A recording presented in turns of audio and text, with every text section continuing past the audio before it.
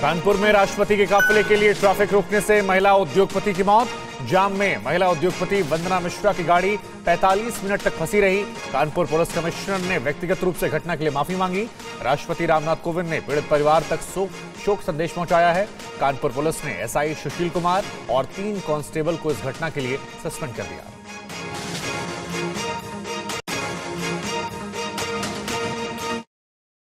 फ़िक्र आपकी सोमवार से शुक्रवार रात नौ बजे सिर्फ़ टीवी नाइन भारत वर्ष पर।